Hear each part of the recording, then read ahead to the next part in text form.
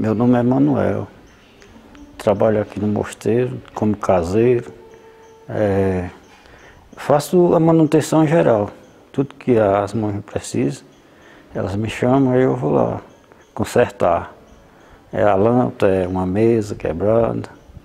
É, tudo enquanto. Seu Manel, por favor, estamos precisando do senhor aqui. Aí eu vou lá.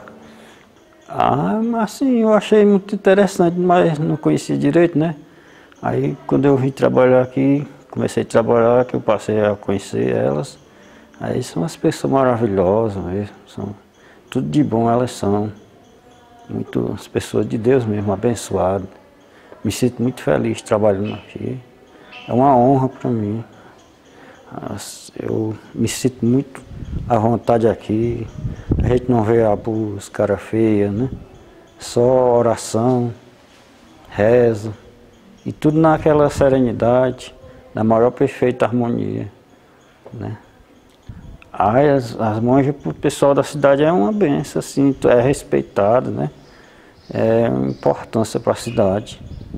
Todo mundo acha muito bonito.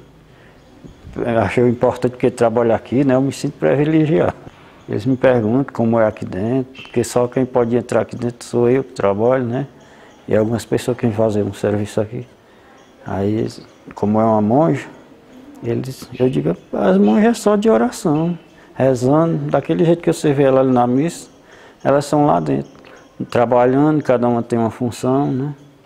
Uma faz uma coisa, outra faz outra, e em oração todo tempo, rezando por nós.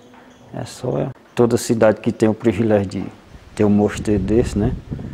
Só para cá para o sítio, ter missa todo dia, né? Para o pessoal, para a comunidade.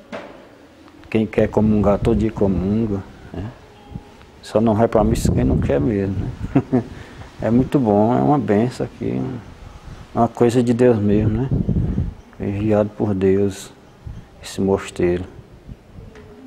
Eu só agradeço a Deus ter me mostrado esse emprego tão maravilhoso, né? Abençoado. E ter botado as monjas tão boas no meu caminho. Para mim elas são uma santa. Pessoa abençoada mesmo. Gosto de tudinho. Os pães é o melhor. Os pães são muito legais, gostosos.